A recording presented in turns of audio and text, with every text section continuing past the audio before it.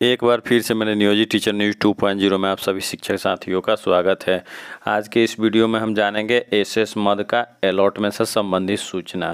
तो सूचना जानने से पहले मेरे नियोजित टीचर न्यूज़ 2.0 को अभी तक सब्सक्राइब नहीं किया है तो कृपया चैनल को सब्सक्राइब कर ले और बेल आइकन और से दबा नोटिफिकेशन ऑन कर दे ताकि शिक्षा विभाग से संबंधित कोई वीडियो अपलोड करूँ तो उसका नोटिफिकेशन मिले सबसे पहले आपको। आइए देखते हैं वीडियो को विस्तार से। सचिवालय से मिली जानकारी के अनुसार एस मद से माह जनवरी एवं फरवरी का आवंटन सभी जिला को इस सप्ताह में प्राप्त हो जाएगा। यानी कल से जो सप्ताह चालू होने वाला है, उसी सप्ताह में सभी ज़िले में राशि प्राप्त हो जाएगा। आप सभी जान रहे हैं कि होली जैसे महान पर्व सभी के सर पर है।